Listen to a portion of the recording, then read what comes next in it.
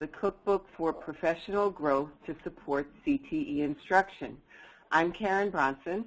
And I'm Stephanie Stewart. And we're so glad you're able to join us today. We don't know if it's snowing where you are, but it's certainly snowing where we are, and it just keeps snowing, so it's a good day for a webinar, so welcome once again. We really look forward today to walking you through the Charlotte Danielson Framework for Teaching with a particular emphasis on connecting the domains and the components to CTE instruction.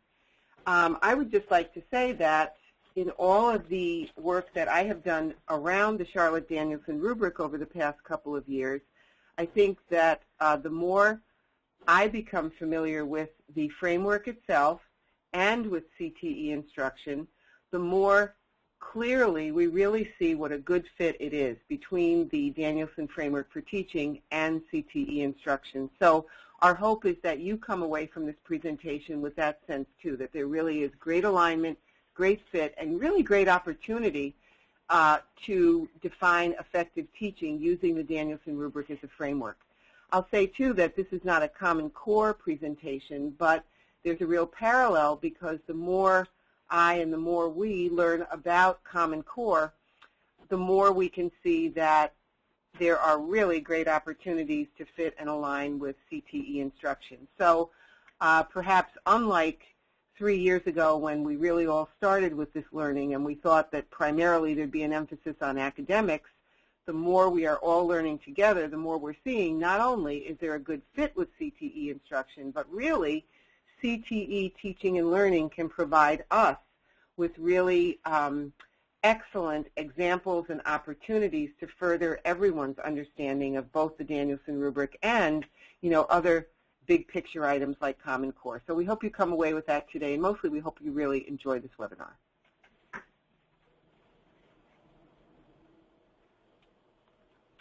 So Gretchen's going to um, share with us just a little bit of information from SPN. On behalf of the CTE Technical Assistance Center, I'd like to welcome you to today's webinar. A few technical points to cover before we begin. All attendees are initially muted. We will take comments and questions throughout the webinar. To pose a question, you can click the raise your hand icon and you will be announced and unmuted to ask your question. You may also submit a question to be addressed by typing it into the questions pane on the control panel. All questions are logged and unanswered questions will be addressed by today's presenters via email. If you become disconnected, please call us at 518-723-2137. Today's webinar is being recorded and will be available for viewing on the CTE Technical Assistance Center website at nyctecenter.org within 72 hours.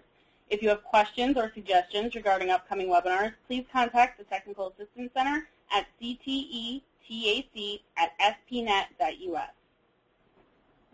Thanks, Gretchen.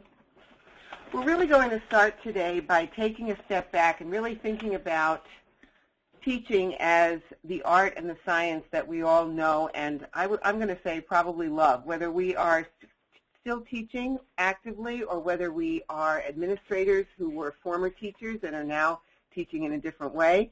I think we would all agree that teaching is certainly a complex and nuanced um, endeavor that really requires not only skills but really nuanced expertise. So Lee Shulman in The Wisdom of Practice in 2004 has what we think was a really great quote about that. Um, Stephanie, could you read that for us, please? Sure. After 30 years of doing such work, I've concluded that classroom teaching is perhaps the most complex, most challenging, and most demanding, subtle, nuanced, and frightening activity that our species has ever invented. The only time a physician could possibly encounter a situation comparable of comparable complexity would be in the emergency room of a hospital during or after a natural disaster. Thank you. So I'm going to say that if we were all sitting in the same room together face to face right now, I would probably be seeing some smiles of recognition. I would probably ask a question um, in terms of which words in that quote resonated with you the most.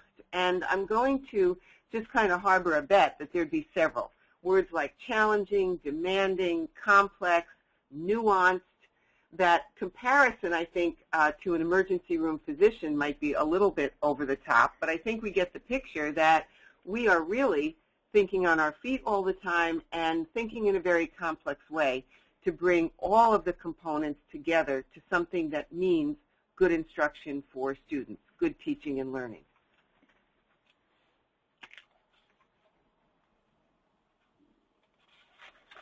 So we're going to think about, as we get started too, what are the benefits of using a high quality rubric at all to evaluate performance? Why is a framework important? Um, if you think about your experience with an observation or evaluation process that did not use such a framework, I think that you would probably have some recollection similar to mine. If you have been in this um, occupation as an educator for more than three years, you probably have pretty good memories of an observation and evaluation system that really did not have a very specific rubric to, to ground it and to provide that framework. And probably uh, you would recall systems where you were evaluated as a teacher or when, where you went in as an administrator to evaluate teachers where perhaps there was not as much consistency as you or teachers would like. Perhaps more of the um, finished product of evaluation came down to things like preferences of the observer or evaluator. And perhaps even within one school system or within one school building, two or three observer or evaluators had different outlooks and kind of personal philosophies, we've all got them, of what constitutes good teaching. So probably I think it's safe to say that um, when we think about the benefits of a high quality rubric, we're really trying to acknowledge that teaching is that complex and nuanced thing. And if we can come to a really great definition, a really great description, and a really great framework in terms of what is it that makes for highly effective, proficient, distinguished teaching and instruction, we really are building in both consistency, equity, and all other kinds of benefits to the evaluation system. Any framework for teaching, and as you well know, in New York State, the Danielson framework for teaching is not the only one. Uh, this is true of the NYSUT rubric and the other approved rubrics in New York State as well. All of them bring to this process lots of really good things. First of all, a common language that gets all of us speaking together about what constitutes good teaching in the same way. It brings development of shared understandings. What do we all believe and what do we all do the same way in the observation and evaluation process? Well, of course, one facet that you're all familiar with is the importance of evidence in the process. Once again, really contrasting to long, long ago and far, far away, grounding this whole process in true evidence that we'll take a look at a little bit more later is really key. So that's an example of a shared understanding. We really want teachers as professionals to become more comfortable with reflection and self-assessment. This is not at all a tool to build a gotcha model from. This is not um, a tool to only assess in terms of score points. This really is a guide and a cookbook, as we kind of think of it more that way, that gives us the recipe, the ingredients, and the directions to get to a very high level of professional performance. And as some of you may be aware, Charlotte Danielson first intended this to be a reflective rather than an evaluative instrument. So um, that really is our focus today. How can we use the Danielson rubric as certainly an observation and evaluation instrument, which it is and which it has become, but really at its core, that cookbook for self-reflection and professional growth. Finally, we get those professional conversations around the shared language, shared understandings that give us much more clarity and much more focus as we talk about what constitutes high quality instruction. So all of these are really true benefits of this rubric, and we can really see right now in schools where um, the Danielson framework now has been in use for several years that everyone, even though it could have been a rocky start at the get-go, everyone is really at a different place now in terms of this shared language and shared understanding.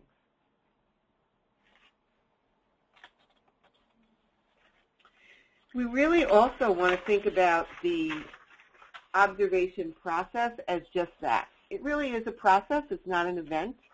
Uh, for the most part, we have both an announced and an unannounced observation each year. We have to have, of course, two full observations uh, minimum, although districts may negotiate their APPR so that the length and the nature of those observation times may look different in terms of what's negotiated. But if uh, a full period observation is announced, then of course there would be a pre-observation conference.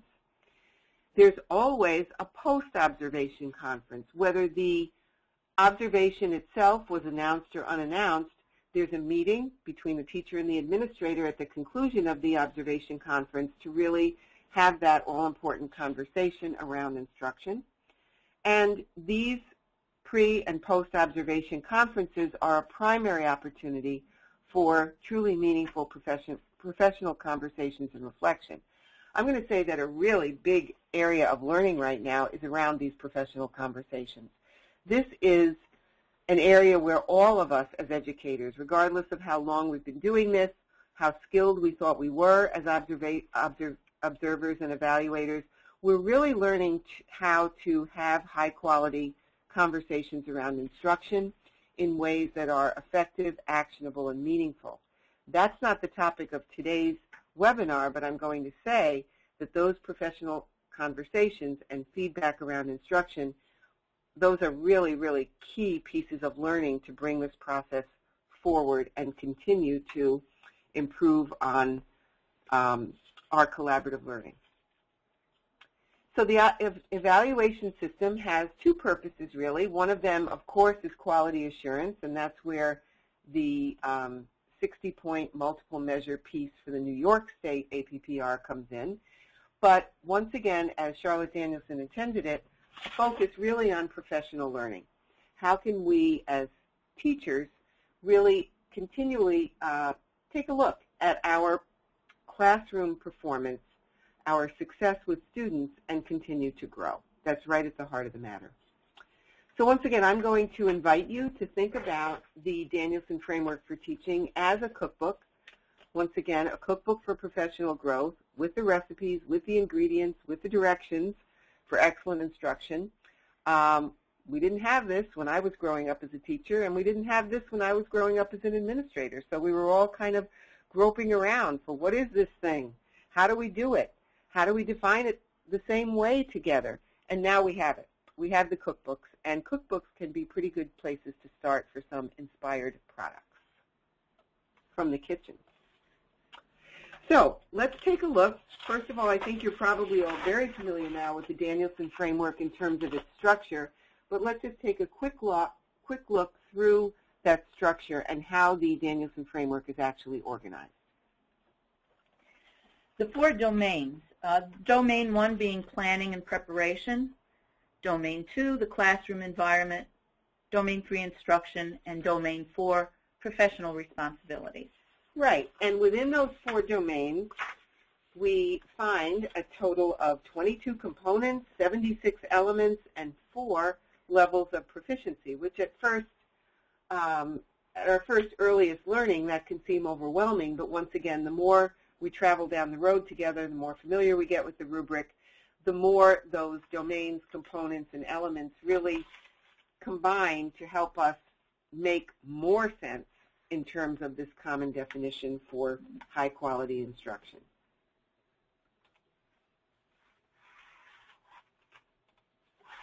If we look at the domains themselves, we can see that there are four of them, and I'm going to um, suggest that we think of them, as Charlotte Danielson describes them, as two offstage domains and two onstage domains.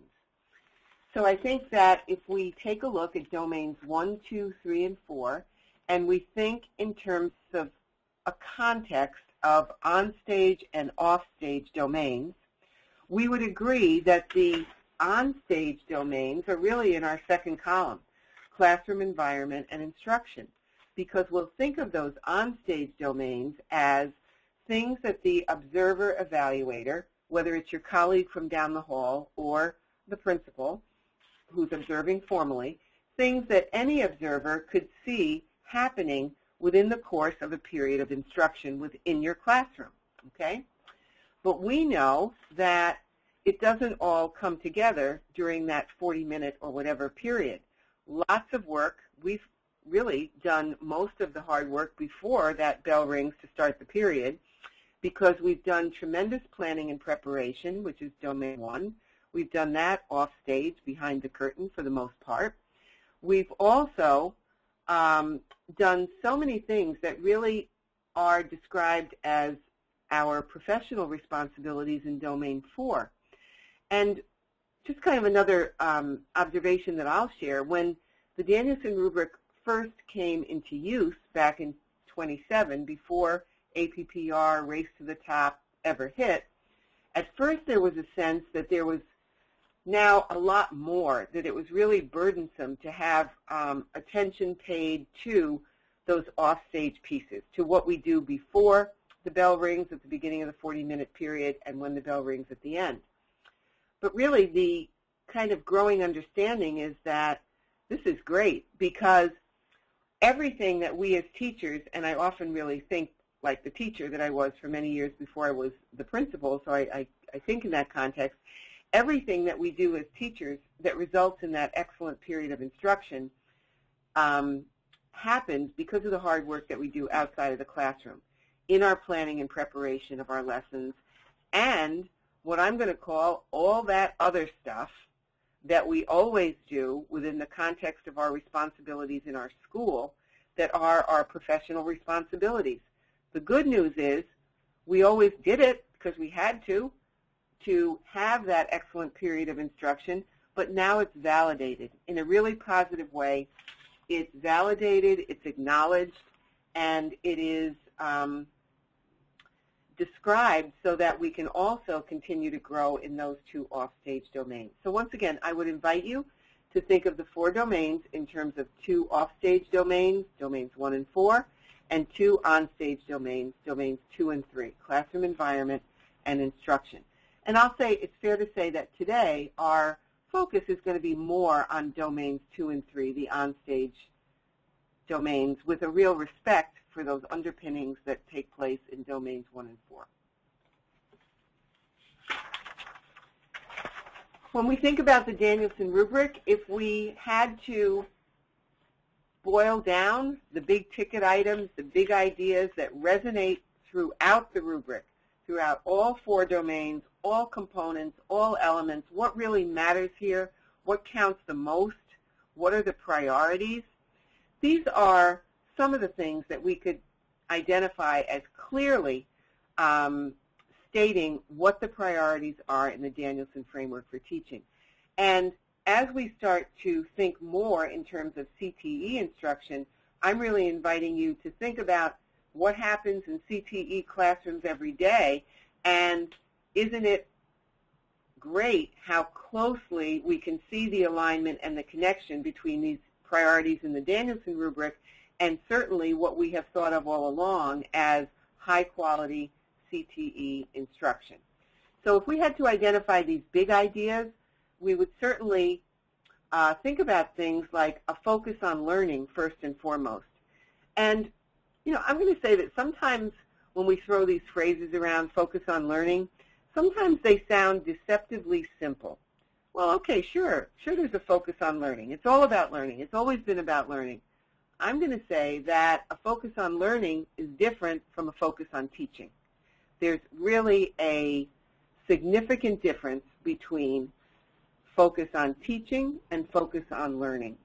One of the biggest shifts and really one of the deepest and most significant shifts that's occurred through the use of these rubrics on effective instruction is that now when uh, an observation is occurring, the eyes and the ears of the observer really are not focused solely on the teacher at the front of the room. In fact, we hope the teacher isn't stuck at the front of the room any longer because it's not so much anymore about what the teacher is saying and doing. It's really about, and if I could ask you now, you're all saying it out there in your kitchens or in your offices, who's it about, guys? It's really about, that's right, you got it, it's really about the students.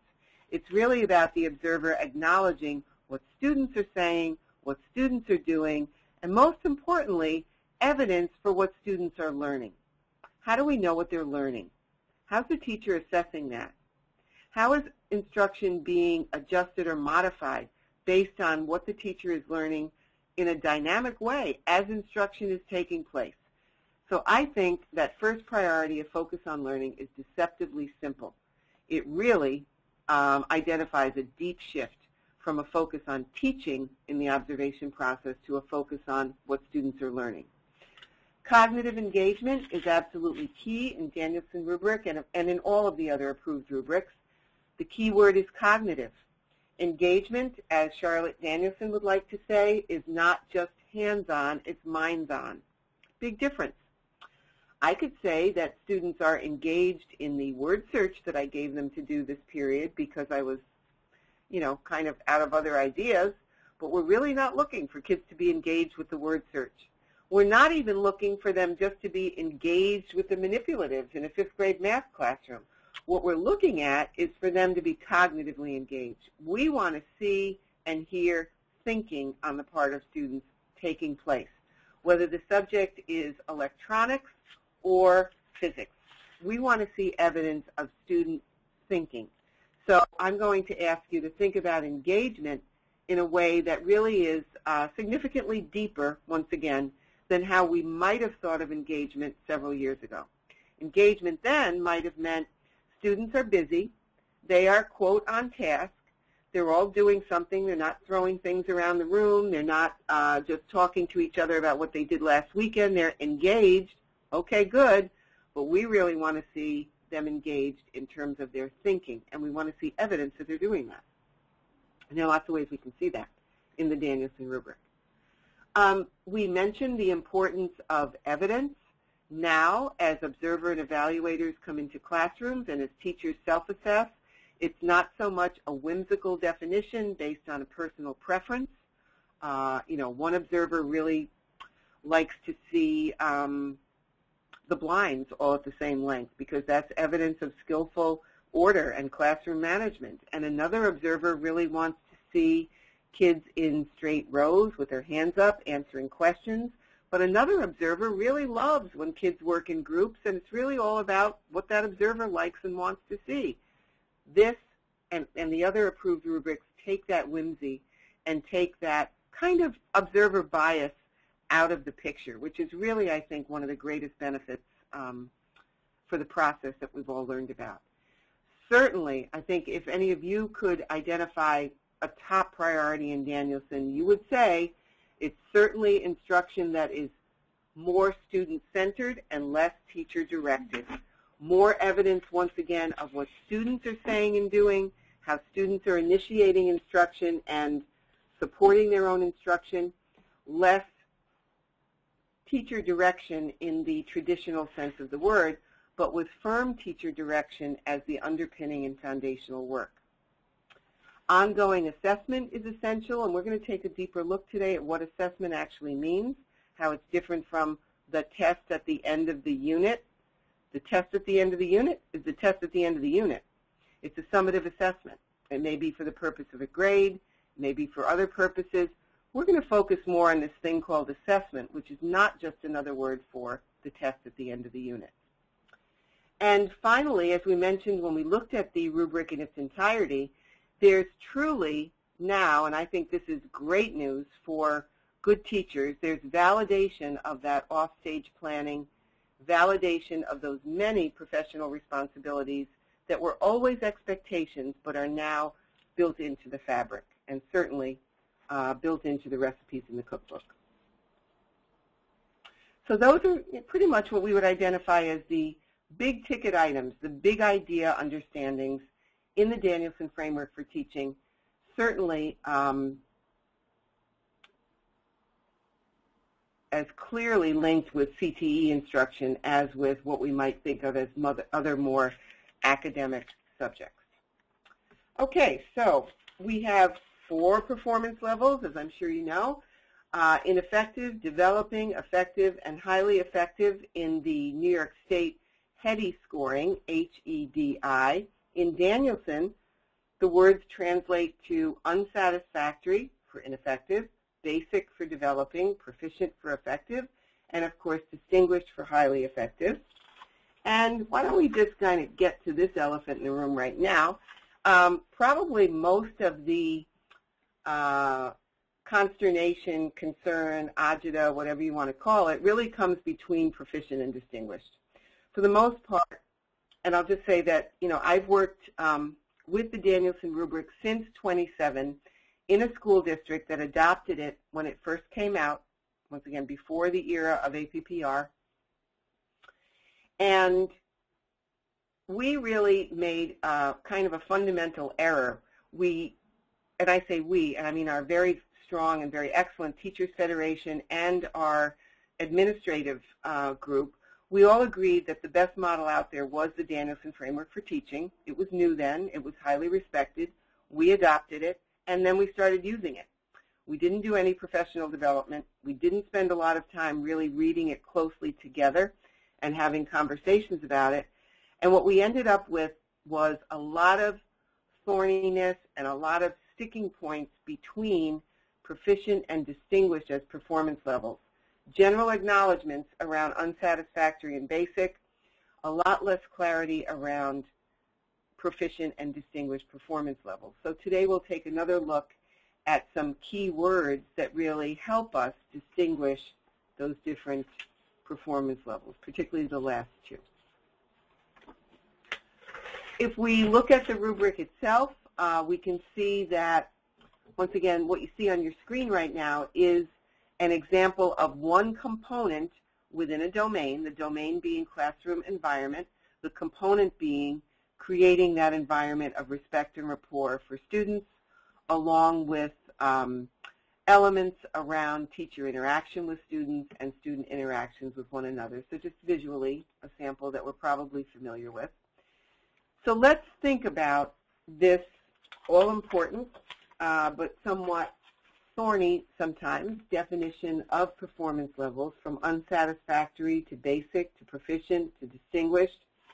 If we comb through the Danielson rubric and extract or cull words that come up most frequently as general descriptors in all of the domains and all of the components and element examples if you're using 2011, we can really boil it down to the words in these columns. Reading these words together and just feeling the difference between these columns of words help us, and these can, you know, if you are um, an, uh, an administrator, if you're an observer or evaluator, looking at these words and talking about them with your teachers can be a very helpful part of the process. So if we look at the most common words that describe unsatisfactory performance, um, Stephanie, can you just read down that column and let's just listen to what these words sound like? Sure. Unsafe, lack of, unaware, harmful, unclear, poor, unsuitable, or none. Right. So think about those words. Once again, I kind of put these in the we know it when we see it category. Think about CTE classrooms. Think about the tremendous priority on safety. If you, uh, as an observer, or if you, as a teacher in your own classroom, have a sense that uh, things like safety considerations, for example, are really to the point that students can be harmed because of a lack of procedures, we're in the land of unsatisfactory. And that carries over to every other domain and component, component around things like classroom management, around things like how teachers demonstrate care for students, as well as things that are more concrete like classroom safety. So, but let's move up that ladder. Once again, let's look at these general, most common descriptors for basic. We're going to get warmer here. Stephanie?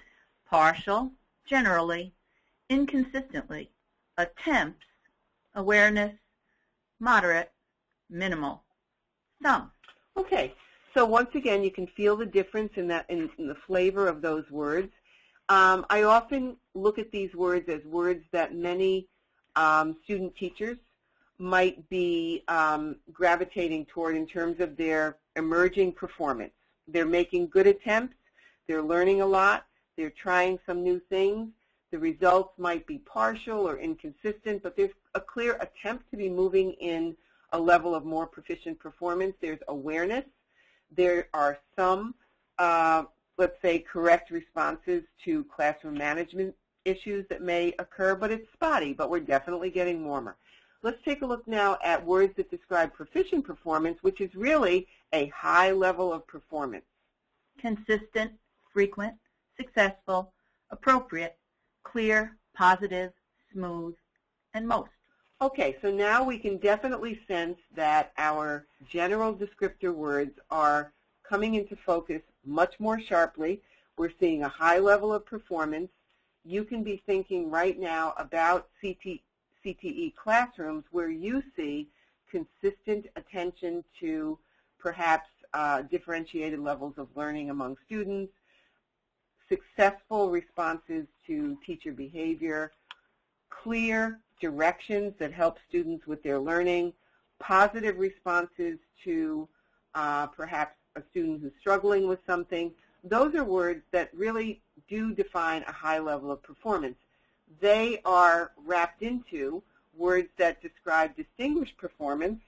Uh, and once again, distinguished is kind of, as Charlotte Danielson says, we visit there, we don't live there. I like the word aspirational for distinguished performance. Some teachers who have great uh, experience and effectiveness might be distinguished in some component areas.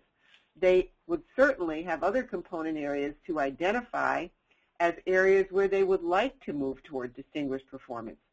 So let's take a look at these words and we'll talk about what the difference is between distinguished and proficient. Seamless, solid, subtle, skillful, preventative, leadership, students, and always.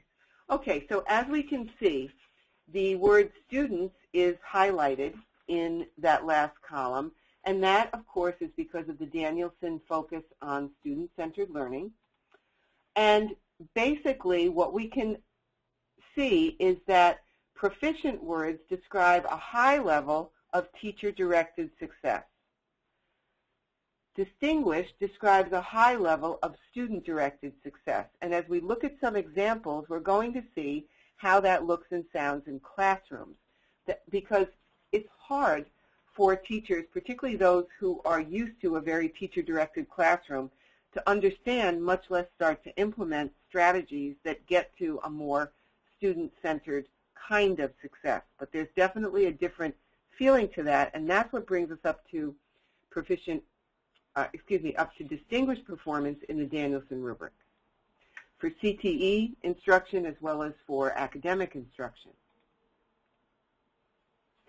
When we get back to our source of evidence for teaching, once again now, given the fact that we have probably been working with this rubric for a couple of years now, I think it's fair to say that we are all fairly familiar with um, what some of these sources of evidence are certainly the pre and the post-observation process as well as the actual observation, artifacts, things that we can actually look at for evidence are essential for domains one and four. And we've seen uh, curriculum mapping as a great opportunity for CTE instruction and a great resource, particularly in that planning component. We also are acknowledging that evidence of student learning is as critical as evidence of teacher words and actions in our process. So everything from how students are doing on locally developed assessments, student learning objectives, student performance in the actual CTE program, employability profiles that come from different components of a CTE program, all of those can help provide evidence for uh, student learning, which is an all-important piece of this process. It's sometimes helpful when we work with our teachers to increase their understanding of the domains that um, we define them differently. So for example, it's helpful to think of domain one as a domain where the teacher is in fact the designer, designing high quality instruction. Let's take a look at this quote from Wiggins and McTighe.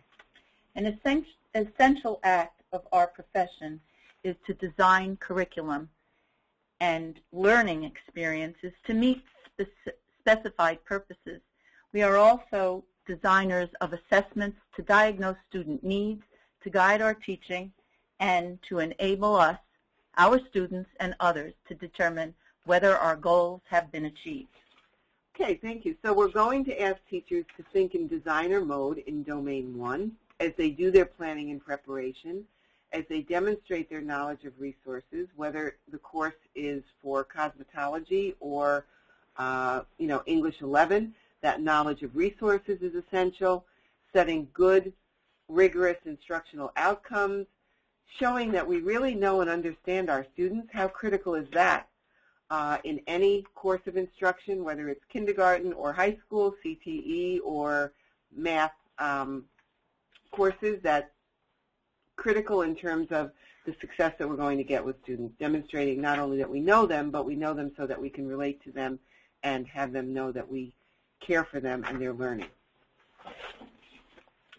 If we look at domain uh, one examples, some things that teachers uh, in CTE or academic classes alike might submit as some of some of the good evidence pieces for Domain 1 might include things like lesson and unit plans, evidence of familiarity with IEPs and other support uh, documentation for students with special needs, evidence of collaboration with student support personnel, meeting with the guidance counselor, meeting with the school psychologist, meeting with the school nurse to have a greater understanding perhaps of who our students are.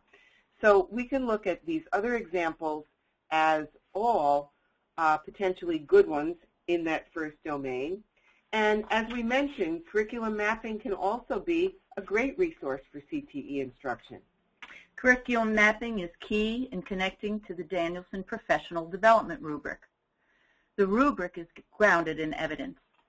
Curriculum mapping is grounded in documenting evidence. CTE programs and curricula are student-centered, as is the Danielson rubric.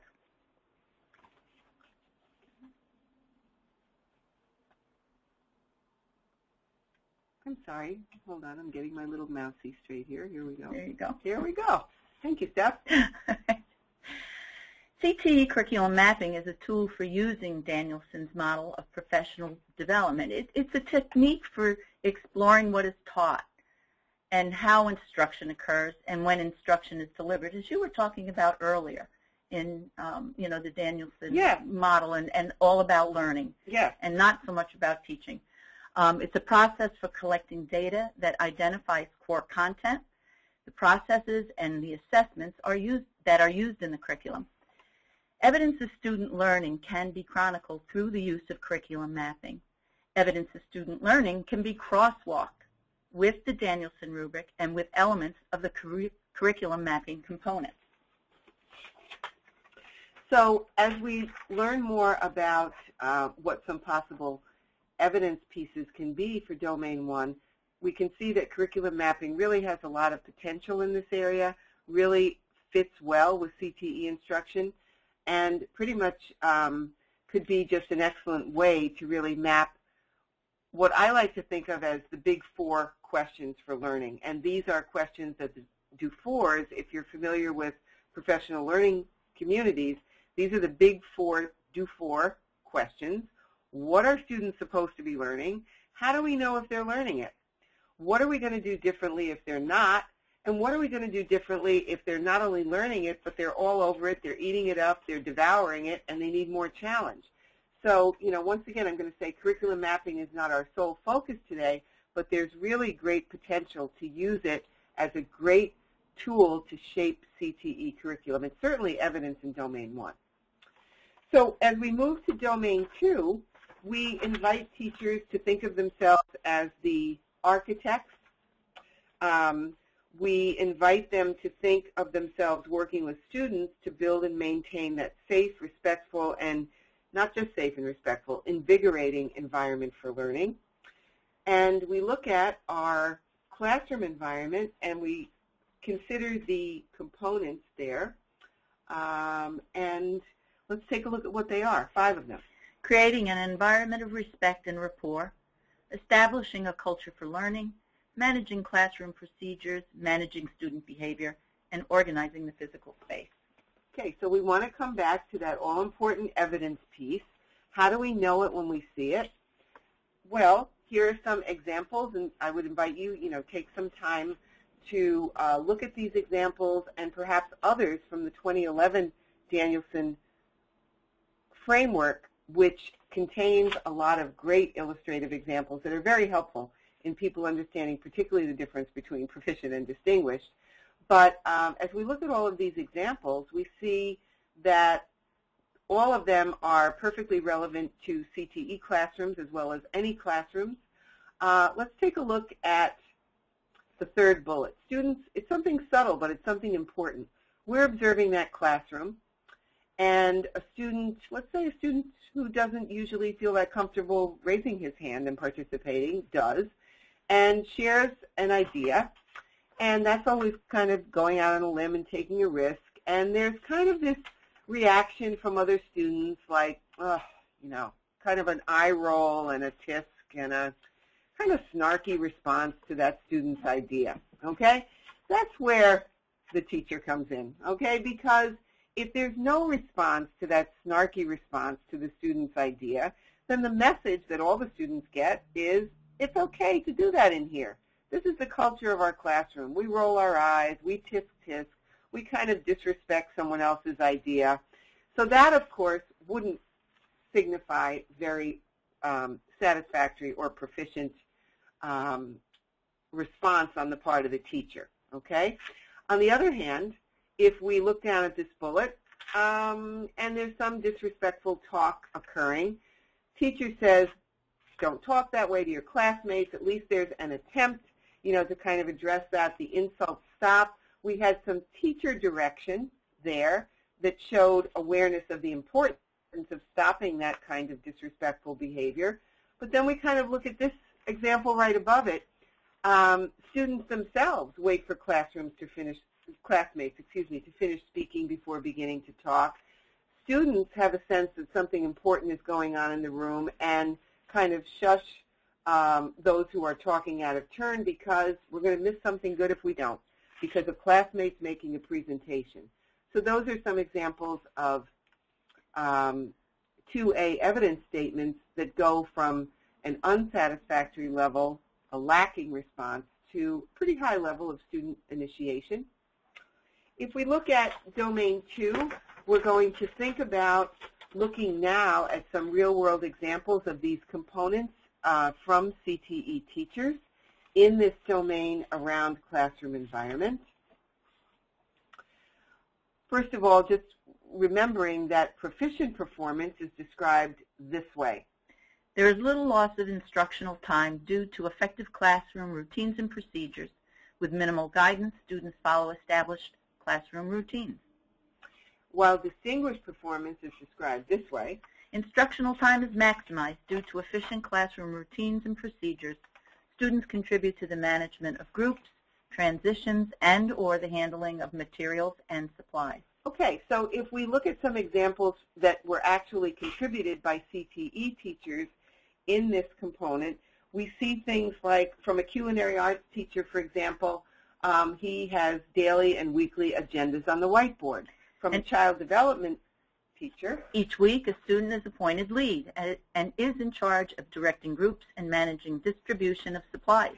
In an economics class, students pick index cards which direct them to randomly assigned groups so that they're working with different classmates on a regular basis. And in landscaping, I create competitive work crews and rotate foremen to understand different pressures of various roles. The telecom teacher has seniors actually help and redirect juniors with class procedures and demonstrate the safe use and storage of power tools. And once again, if we want our teachers to have a better understanding of what this student initiation is, student ownership of learning, these are great ways to help people understand that. This is how it looks and sounds different. Right, and a health teacher shared that she or he has a designated spot in the room for the day's handouts and supplies for students to pick up on the way in. Okay. We can see, uh, once again, in terms of organizing physical space, there is a higher level of performance in terms of distinguished performance. And let's take a look at some examples. The childhood development teacher uh, uses a strategy of creating classroom tours and scavenger hunts at the beginning of the course to learn where materials are stored.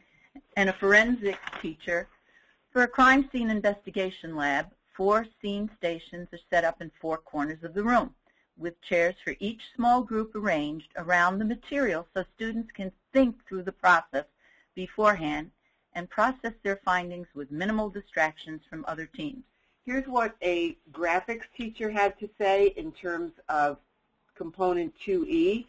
Um, he shared that they practiced transitioning from straight rows for direct instruction to oval or U-shape um, formation in the room for discussion and to small clusters then for group work so that students can move desks within the period of instruction to create seating arrangements that support the goals of the activity. So here we see the way the furniture is arranged in the room makes sense for the learning outputs that we want, and to bring it up to that distinguished level, it's not all teacher created. Students are very familiar with the routines. When teacher uh, needs to transition from one activity to another, students are active participants in kind of making the furniture, making the room fit the next goal of their learning within that lesson.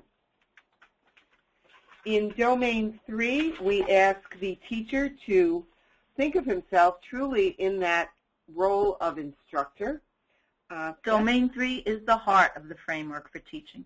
It describes the critical interactive work that teachers undertake when they bring complex content to life for their students.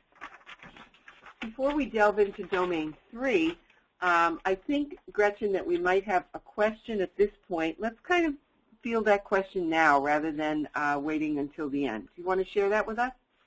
Sure. Um, this is in reference to an earlier slide. I believe it was slide 13. But the attendee asked, what would you hear from a student who is cognitively engaged? That's a great question. What would we hear from a student who is cognitively engaged? And I'm going to extend that a little bit. What would we see from a student who is cognitively engaged? What does it look like? What does it sound like? Well, a student who is cognitively engaged might be asking a good question. That's one thing that we could hear from a student that's evidence of thinking. We can see that he or she is engaged in the topic of the lesson to a point that he or she is asking good questions to further learning. We could hear a student who's cognitively engaged responding to a classmate's um, sharing in terms of the topic of the lesson. And one thing we want to see our teachers doing is connecting student to student. So we'd see perhaps a comment that demonstrates under, understanding and support of a classmate's response. What could we see in terms of cognitive engagement? We could definitely see students who are focused on the whatever's occurring at the moment, the demonstration, the um, activity that's taking place within their group, we're not seeing students just asking to get the bathroom pass. We're not seeing students with their head down on the desk. We're seeing eye contact, student to student or student to teacher. And once again, we are hearing comments that are not only in response to teacher questions, but are actually initiating questions that shows evidence of um, engagement in the lesson. So I hope that's helpful. Are there any quest other questions right now before we move on? No, they're not. Okay, so we'll continue uh, with domain three, which is right at the heart of uh, instruction. Steph? Yep. Communicating with students. B, using questioning and discussion techniques. C, engaging students in learning. D, using assessment in instruction. And E, demonstrating flexibility and responsiveness. And I'm just going to say that we could spend our entire webinar time delving very, very deeply into this one domain around instruction. But for our purposes today, we want to at least get a good anchor and a good handle on how some of these components look in CTE classrooms. So we're thinking about, we're focusing on 3B, questioning and discussion, engaging students in learning, using assessment and instruction. Once again, let's get back to some examples, but before we do that, I think it's worth spending a few moments delving into assessment, what it means, and the all-important difference between formative assessment and summative assessment. Formative assessment is very dynamic. It happens during teaching. It focuses on assessment for learning while learning is happening. And the purpose, the primary purpose of that assessment is to know. We remember our four big questions. What are students supposed to be learning? How do we know if they're learning it? This is where formative assessment lands. Do we know whether students are getting it? And therefore, what does that tell me or the teacher I need to do to instruct my instructional strategies? It's for me so that I can change things if I have evidence that they're actually not or a number of students are really not grasping the concept, or if they are kind of way ahead of me, I need to adjust as well.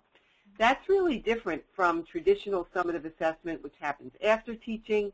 It's an assessment of learning that's taken place rather than learning that's dynamically happening now. The purpose for that summative um, assessment is really to evaluate students' performance that's already happened to make decisions about grades, course completion, graduation, all necessary, but very, very different. So we could think of that summative assessment, if we want to, as a kind of autopsy after the fact, where we can think of formative assessment as kind of the well checkup while the learning is happening so that we can do things differently to enhance that learning. So that's really um, a critical piece for Danielson and a critical piece in CTE and all classrooms in terms of this understanding around, once again, these four questions that acknowledge that learning is a dynamic process that we have to continually assess. We could spend time on looking at qualities like validity or rigor, reliability, fair and unbiased questions that make quality assessments. I'm going to recommend that at least you become familiar with something that I think you'll really enjoy learning more about, it's called Webb's DOK. DOK means depth of knowledge chart. It's easily accessible online. Just Google Webb's DOK chart and it will come up. It's very Bloomsy. It, it focuses on four levels of questioning strategies which are critical in Domain 3 around instruction. Questioning and assessment are critical moving from questions that ask students to recall facts, those that ask them to uh, define skills or concepts, to real strategic thinking and extended thinking.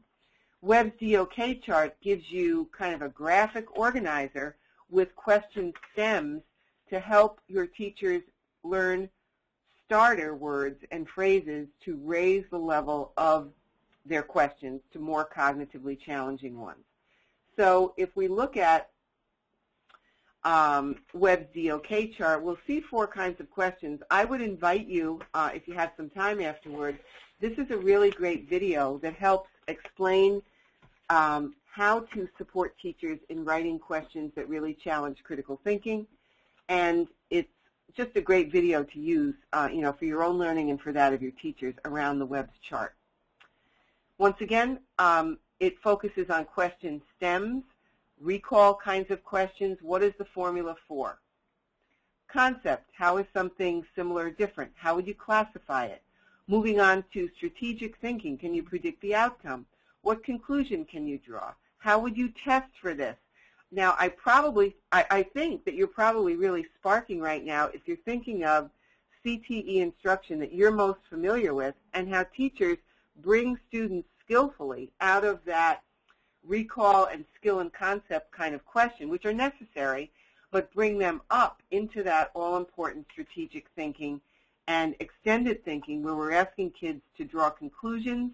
We're asking them to perhaps to think of new ways for doing uh, something that they have learned how to do. So once again, this is more like an extension activity for you and your teachers, but it is perfect for CTE instruction. And absolutely, um, I think, of the highest relevance for all instruction in terms of giving teachers a great resource to actually promote that evidence of a high level of cognition that we're looking for. So if we're focusing on using questioning prompts and discussions, we can see um, the difference in how we define proficient and distinguished performance. But once again, we, we most firmly land on those actual examples. So back to that culinary arts teacher, if we're thinking about questioning and assessments, uh, he structures questions that make students use information to solve a new problem. Here's what it looks like. This is a great example.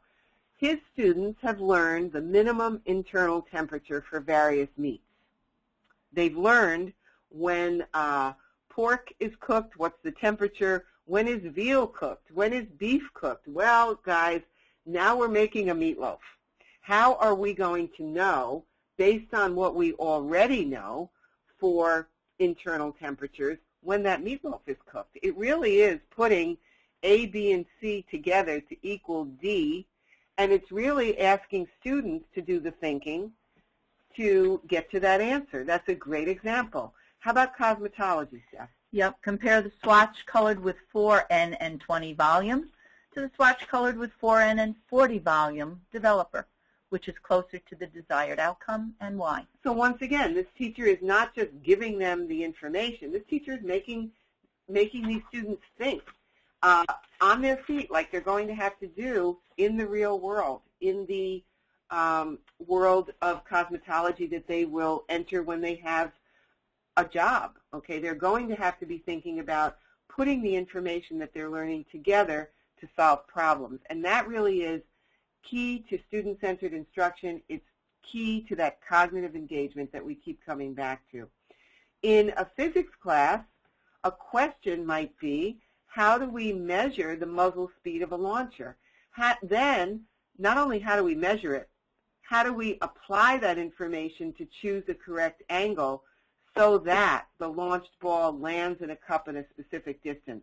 That's a very high level of learning. It would probably be, back on our Webb's chart, um, a level four question because once again we're asking students to put information in, together in a new way to solve a new problem. And that's evidence of certainly proficient and distinguished performance in this domain area in the Danielson framework. We're thinking and we're talking a lot today about engaging students in learning, engaging them cognitively in their learning. We can see and we can take the time to read the nuanced differences between um, most students being cognitively involved and virtually all students being intellectually engaged. So you can go back and kind of savor some of the finer points of the language. But once again, we really want to hone in on those examples. So in emotions graphics class, uh, what's the evidence there? Well, we're going to ask students to link instruction to a recent animation example or to compare their project to a classic animation film, cartoon, or character. Once again, it's not just create your animation project, and it's not just uh, you know, let's take a test about some classic information. This is putting learning to work in application and relevance. This is key in the Danielson rubric. It's key to cognitive engagement. And I'm going to say it's key to Common Core. But that's for another day. Jeff? Yeah. Students prepare a presentation in which they relate similarities and differences between artist Janet Fish's glassware paintings and their artistic composition. In uh, CNA course, students are role-playing a conversation between the supervisor and the care provider in a nursing home over a real safety issue that occurred. Once again, the focus is on application and relevance. And then again, over the course of a year, students develop capstone activity, which is year-end fashion show. Right, and you know, from all accounts, that year-end fashion show really does uh, get all students very actively engaged in their own learning, and it results in a beautiful product that everyone acknowledges is just a great thing for their school. In domain 3 and D, we're looking at using assessment in instruction. Once again, yeah. We can see subtle differences in the descriptors. Um, some examples from a forestry class, uh, students had to design a felling plan for a tree using hazards, obstacle plan, or procedure equipment, HOPE, uh, students then assess and critique the felling plans of other crews. So they're creating something new, they're designing a plan, they're assessing, and they're critiquing. Once again, the emphasis is on a much higher level of cognition and application. And this is the heart of the Danielson framework. Again, and the understanding of core content of a lesson uh, is demonstrated by Twitter as an exit slip. student has an index card and may use 140 characters to tweet response to exit question. In uh, Back in our culinary arts class, uh, this is actually a baking class, um, students have uh, kind of a way to test whether dough is done or not. So they use something that I think is pretty cute called the belly button test to see how the um, gluten is developing when preparing bread dough. So these are ways that students are kind of assessing success with their actions uh, within that classroom food lab. And finally, in domain four, we ask students to think of themselves as those professionals who have such um, a wide spectrum of other responsibilities within their school day to support their own professional growth, hopefully to share professional growth with their colleagues and to just kind of continue to be um, reflective practitioners who are always moving toward higher levels of performance, whether that is uh, proficient or distinguished. Those professional responsibilities can take many forms, uh, once again, it's another good conversation in terms of what some evidence might be around them. So these are some examples that could be helpful to you if you're looking for examples that really do um, enhance our understanding of Domain 4, professional responsibilities.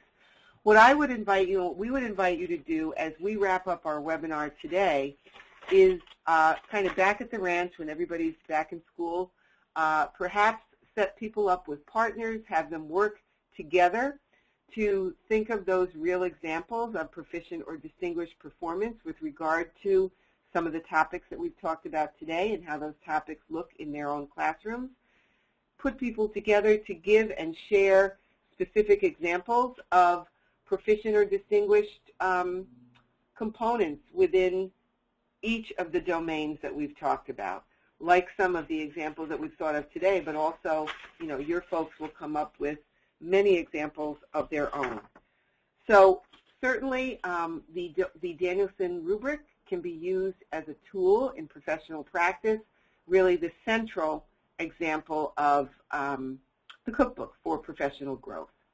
Hopefully what we happen, what we hope to see happen is for teachers of CTE uh, classes to see the rubric as a key that really resonates with them as their primary opportunity to learn and to, once again, continually grow in their own practice and take responsibility to feel more ownership uh, and empowerment over their own professional growth. Steph? You might uh, take the opportunity when you go back to your schools and your buildings, once again, to ask your teachers to write what we can call an elevator speech, kind of a quick 60-second talk to one another that summarizes some of the priorities of the Danielson framework and also examples from their CTE classrooms that they can share with one another. Steph? Well, good luck, and thank you very much for uh, participating, uh, well, actually, for hearing us out this afternoon. Um, I think there was a lot of information that was shared. We hope that some of it will be helpful to you as you uh, work with your teachers on your APPR. Um, and thanks for your time. Thank you so much. And Gretchen, if there are any other questions from the group, we'd be happy to hear them now. We do not have any questions. Okay. All so right. I'd like to thank you for joining us for today's webinar. As a reminder, this webinar will be available for viewing at nyctecenter.org within 72 hours. Thank you so much today.